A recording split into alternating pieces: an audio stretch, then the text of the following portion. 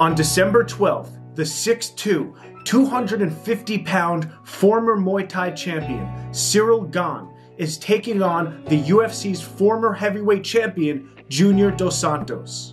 Cyril Gane has had his last four fights cancelled. One of those fights were cancelled due to Cyril suffering from pneumonia, which would lead to a collapsed lung. Then, he was slated to face Ante Delija on Fight Island. But the UFC found out his opponent was still under contract with the PFL, so they pulled the fight.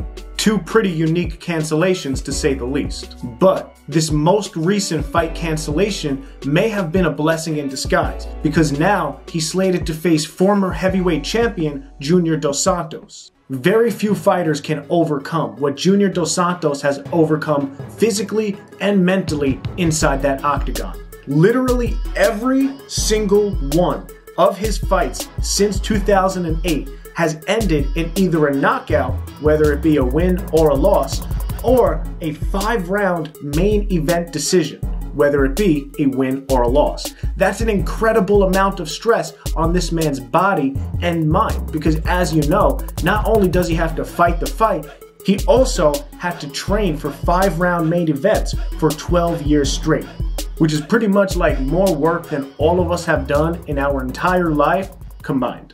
So, now that you know a bit about both of these two fighters, we're to take a look at their most recent fights so we could try to form an educated opinion on who's to win their fight on December 12th. If you guys have an opinion on how this fight is going to play out, I'd love to hear from you in the comments. And remember, if you want to stay up to date with the latest MMA prospect news that no other MMA media outlets are covering, make sure you subscribe to MMA Underground today. Alright, so before we jump into the fight footage, there's a couple of general facts that are going to help us predict what's going to happen when they fight. First, we should note that Cyril Gane is one of Francis Ngannou's main training partners over at the MMA Factory. Ngannou, of course, knocked out Junior Dos Santos in mid-2019. This doesn't guarantee the same result, but it is worth noting that they train together and are relatively the same size and of similar skill sets. The second thing that you should know is, as I mentioned earlier, Cyril is a former Muay Thai champion with only six MMA fights, three of which have come in the UFC. Thus far, none of his opponents have had substantial wrestling or jiu-jitsu credentials. And while Junior Dos Santos doesn't have any submissions or very many attempted takedowns on his record, he is still a BJJ black belt. Alright, so for each fighter, we're going to take a look at their most recent three fights. Three fights ago, Cyril Gane took on Rafael Pessoa, who was also making his UFC debut. So, while this was a UFC fight, it wasn't against proven UFC talent. Furthermore, Pessoa would go on to go 1 and 2 in the UFC, and that one guy he beat, Jeff Hughes, did even worse. He was 0 3 and 1. From the first round of this fight, you can tell that Cyril Gane has a cerebral and often counter-striking approach. He likely recognizes that his opponent is a big and wild swinger, and he's using this first round to accumulate data and also let his opponent tire himself out. Overall, the first round was pretty uneventful on the feet, with Cyril landing some pop shot jabs and lead leg kicks from the outside. The first real noteworthy piece of footage from this fight comes in this clinch exchange during the first round. Pessoa is able to score this trip on Cyril pretty easily, although momentum would land Cyril on top, where he'd quickly submit the guy that Michael Bisping just told us did jiu-jitsu for 12 years and was quote unquote high level. He needs to try and take him to the floor. He's done jiu-jitsu since 2006. That's 13 years, so he's at a high level. Now, because I'm doing a much longer career breakdown on Cyril Gane, I happen to know about this clip from his first professional fight. And while we can't conclude anything 100% based on these two isolated clips, it does raise the question of how good he could defend takedowns from the clinch. When we look at Junior's fight tape, we'll see does he show, does he exhibit any takedown tendencies from the clinch? And if he does, this could be an easy win for Junior, but we'll check that out once we get there. Let's jump into Cyril's second fight in the UFC against Don'Tale Mayes. One of the first things that jumps out to me about Cyril in this fight is his ability to lunge in and out of range to deliver his jab and his straight from the outside. Secondly, he shows that he's intelligently avoiding incoming strikes, which should be no surprise given his striking background. For the remainder of the first round, Cyril shows that he knows how to hit and not get hit, consistently getting in and out without his opponent laying a paw on him. Check out these roundhouse kicks and teep kicks that land near the end of the first round. Cyril would end the first round by countering his opponent in this boxing exchange, and this is the kind of exchange that'll be useful footage for his fight against Junior Dos Santos. Because Junior is primarily a boxing striker who's proven he's vulnerable to getting countered in these exchanges. The second round would be more striking from the outside from Don with some nice counter-punching exchanges as well. And while there were certainly more noticeable exchanges in this fight, besides the one you were just shown, this pretty much tells the story of this fight. This fight would end after Cyril lands a nasty body kick that sends Don'Tale Mayes retreating. Cyril is letting knees go to the body and legs while his opponent focuses on keeping his hand on the mat to prevent knees to the head. Ironically, Cyril would finish this fight via heel hook. And while this is impressive, I don't think this will be happening against Junior Dos Santos. And look, let's keep it real again. Was this performance very impressive? Sure it was. But Don'Tale Mayes is not a high level striker.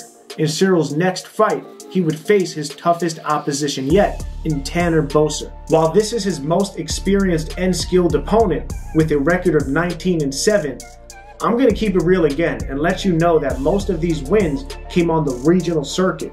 And when he stepped up to the UFC, he fought other fighters that were brand new to the UFC and would likely qualify more as regional talent themselves. In this fight, Tanner's coming close when he attempts to throw this power right hand over the jab of Cyril. Ironically, this is how Junior Dos Santos knocked out Cain Velasquez back in the day. Cyril uses his jab in this fight from the outside to disguise incoming straight rights and uppercuts. He throws a few uppercuts in this fight that, if they were to land, they could have well produced a viral knockout like in Ngannou versus Overeem. Another thing that we can ascertain from this fight is that Cyril doesn't gas out when he's in a quote unquote real fight. Cyril doesn't show any signs of breathing heavy or slowing down heading into the third round. Cyril goes on to win this fight by unanimous decision. What do you guys think about this assessment? Let me know in the comments. Now, let's get to breaking down Junior Dos Santos' last three fights. Three fights ago, Junior Dos Santos went up against Francis Ngannou, who is Cyril Gane's training partner and has a similar size and game plan. Francis would land a few powerful leg kicks before Junior stumbled him with a leg kick of his own. During one of the first boxing exchanges, Junior missed with this big right hand, and all it would take is one counter from Francis to end things. And while I would encourage you to not look too deeply into any one fight when trying to predict another fight, this does seem relevant because Cyril is not only Francis's training partner, but has similar strength and a similar size. So it's not far fetched to think that Cyril's fight may end similarly to this fight. So we're not going to overreact to this fight, but instead we're going to jump into his next fight, which was two fights ago, against Curtis Blaydes. Through watching his fight with Curtis Blaydes, we can clearly see at this point of his career, his speed, his power, his conditioning, and his fight IQ are still with him. However, at the end of this first round, we start to see Curtis Blaydes connecting more and more up top. During the broadcast, Daniel Cormier several times pointed out the fact that Junior was throwing this rear uppercut, and just as he says it for about the third time, Junior gets knocked out while throwing a rear uppercut. This would make it two knockouts in a row for Junior Dos Santos, and it would be easy to say his chin is shot or that he's aged, but honestly, that's not what I saw in these two fights. In the first fight, he got clipped by one of the most powerful strikers in the last hundred years. And in the second fight, he made a tactical error of throwing a rear uppercut in which he got caught by another really powerful heavyweight. So, although he lost by two knockouts in a row, I'm not ready to say he's shot or that his chin is gone just yet. In fact, he looked like he's maintained most of the skills that's got him to the dance thus far. Alright, so let's move on to Junior's most recent fight against Jairzinho Rozenstruik. After we break this fight down, then we're going to compare what we've learned and see who we think would win in this fight coming up on Saturday. Rozenstruik is the most relevant tape to study as it relates to this fight coming up on Saturday because, like Cyril, he's an experienced kickboxer. In fact, even more so. His kickboxing record is 76 8 and 1, which pretty much speaks for itself. Since starting MMA, he's 10 and 1 with only one decision. This fight starts off with Junior striking from the outside and Rozenstruik countering with leg kicks as he comes in. Both fighters seem to be quick and reactive on their feet. Even after two consecutive KO losses, Junior does not seem to have lost a step mentally or physically. He lands this big overhand right followed by a left hook, and shortly later, he's also displaying these lunging jabs and straights to the body. Another big right hand landed in the last minute of this round for Junior.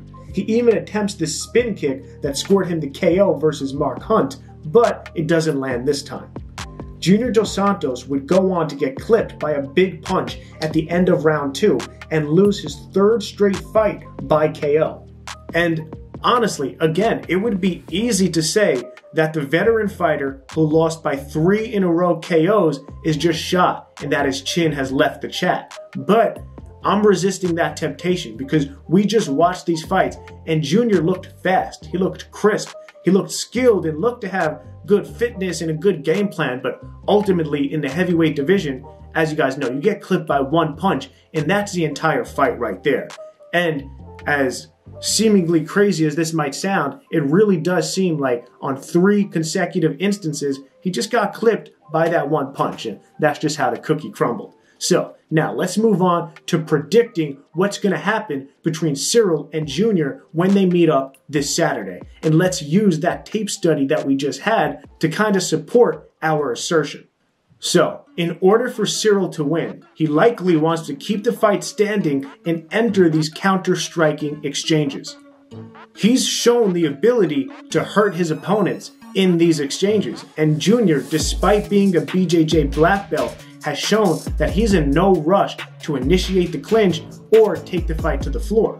And tell me something, if Junior doesn't urgently pursue a takedown or a clinch versus Ngannou and Rozenstruik, two even more dangerous and credentialed strikers, then what makes you think he's going to do this against Cyril Gane? In our tape study, I didn't see Junior prioritize a takedown or a clinch even once. In fact, over his entire career, he only averages 0.3 takedowns per 15 minute fight. That's really low. Lastly, even though Junior didn't seem to have lost his chin to me in his past three fights, I mean, this is a new, a third knockout that was pretty vicious. It wouldn't be far fetched to believe that maybe his chin has left the chat now after this third knockout. You know what they say, the third time is a charm. So, for that reason, I'm going to predict that Junior Dos Santos suffers either his fourth knockout in a row or at the very least a decision loss. And it could, I'm leaning towards a decision loss, honestly, because this fight is only three rounds. And Junior's used to fighting five round fights. So maybe he can survive for three rounds. But I don't see him shooting for the takedown or prioritizing the clinch trips, which seems to be his path to victory in this fight. So now it's your turn. After learning what you've learned in this video, I would love to hear from each and every one of you. Let me know what you think of Cyril Gane. Are you high on this prospect? And who do you think is going to win this fight between him and Junior Dos Santos? If there are any upcoming fights that you want me to break down in a similar fashion that I did in this video, make sure to let me know in the comments. And until next time, peace. Oh, yeah, remember, if you want news on all the hottest up and coming MMA prospects, hit subscribe.